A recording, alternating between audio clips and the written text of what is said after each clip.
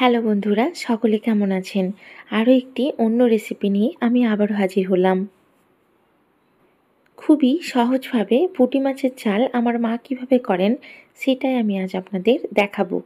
তো চলুন বন্ধুরা, খুব বেশি দেরি না করে রেসিপিটা তাহলে শুরু করা যাক। এখানে পাঁচশো গ্রাম পুঁটি মাছ নেওয়া হয়েছে। এগুলিকে খুব ভালোভাবে পরিষ্কার করে ধুয়ে হাফ চা চামচ পাতিলেবুর রস, স্বাদ মতো লবণ ও হাফ চা চামচ লঙ্কার গুঁড়ো মাছগুলিতে খুব ভালোভাবে মেখে দশ মিনিটের জন্য রাখা হয়েছে।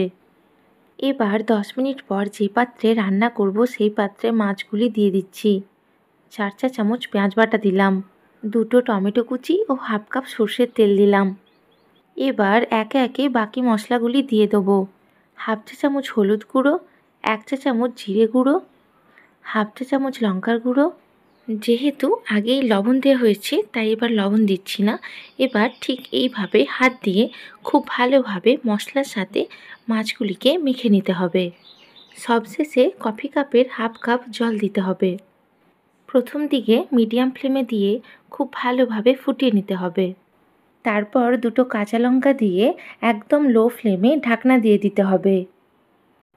দশ মিনিট পর ঢাকনা খুলে দেখা যাবে সম্পূর্ণভাবে এই খাবারটি রেডি হয়ে গেছে। সবশেষে এর ওপর ধনেপাতা কুচি দিয়ে দিচ্ছি। এবার কি? এবার তো শুধু পরিবেশনের পালা। এটা খেতে হয়েছিল খুব মজাদার। গরম ভাতের সাথে এটা থাকলে আর কিছু চাই না। আপনারাও তৈরি করুন ও আমাকে কমেন্ট বক্সে জানান। যে যেখানে আছেন খুব ভালো থাকবেন। অন্য দিন অন্য রেসিপি নিয়ে আমি আবারও হাজির হব। বিদায় নিলাম। ধন্যবাদ।